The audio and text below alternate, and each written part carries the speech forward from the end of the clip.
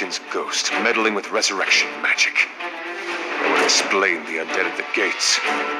He must be practicing on the corpses of the British invaders.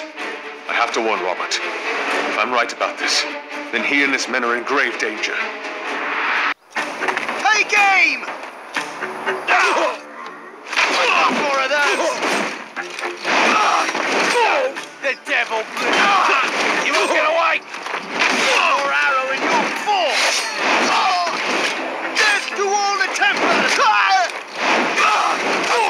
many you'll suffer. Not so... Put him on a pike. Ready yourself, knave.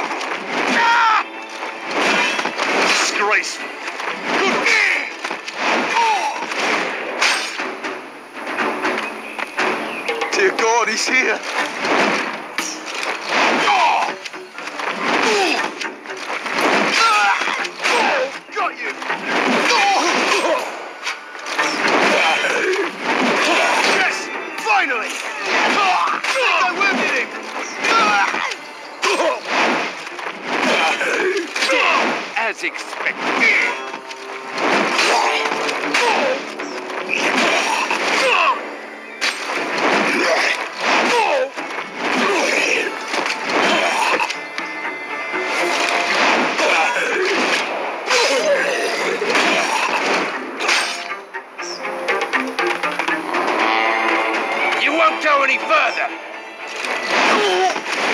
The Templar is dead! Serves you right!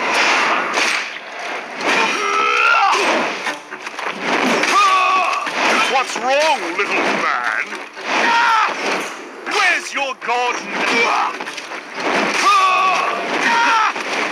Traitors always.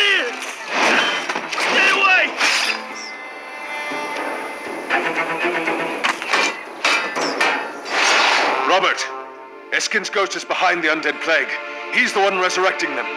Good to know, lad, but a bit too late to be useful. The British just broke through the castle's front gate, living and dead alike.